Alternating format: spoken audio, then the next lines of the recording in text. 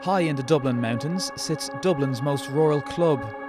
Stars of Erin have a proud history of more than 100 years.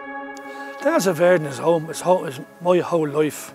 That's all my family uh, play with Stars of Erin, down through generations. Stars of Erin were crowned Dublin Junior Champions in 1916, going on to win the 1917 All Ireland Junior Championship, representing Dublin. We were always a small community, so we would never had enough players. So we always relied on men that would be from the country working in Dublin, come and play with us. The wait for another championship finally ended in 2010, 93 years after their first.